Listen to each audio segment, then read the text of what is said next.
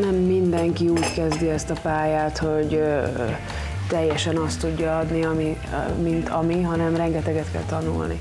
Meg hát aztán az ember, főleg. meg az ember nem is tudja, hogy ahogy megszületünk, nem tudjuk egyből, hogy most ezt a pályát fogjuk választani.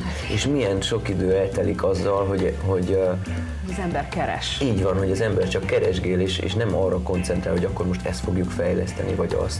Zeneasztal Andrei Zoltánnal vasárnap 16 órától.